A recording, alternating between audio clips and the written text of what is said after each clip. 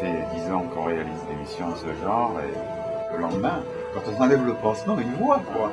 Le patient est parfaitement conscient, mais ne sent strictement rien du tout. Donc résultat instantané, suite opératoire hyper légère. Quand on revient l'année d'après, euh, euh, tout le monde va se faire opérer.